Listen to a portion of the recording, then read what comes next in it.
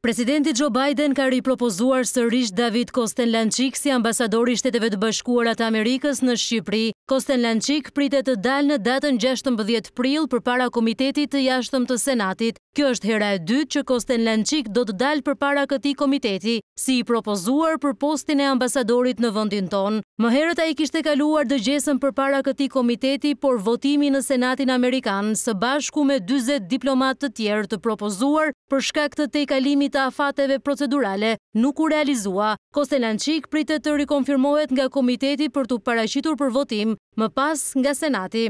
Një diplomat karriere, Kostelancik ka shërbyer dikur në Shqipëri gjatë viteve një mijë e nëntëqind e nëntëdhjetë e dy një mijë e nëntëqind e nëntëdhjetë e katër, si përfaqësuesi i parë për çështjet politike dhe ekonomike. Nëse kandidatura e tij miratohet nga Senati, diplomati Kostelancik do të zëvendësojë Yuri Kim, e cila u largua nga vendi ynë në datën njëzet e pesë qershor të vitit dy mijë e njëzet e tre, duke marrë një post të rëndësishëm në Departamentin Amerikan të Shtetit. Ambasada e Shteteve të Bashkuara të Amerikës drejtohet aktualisht nga i ngarkuari me punë, David Wisner.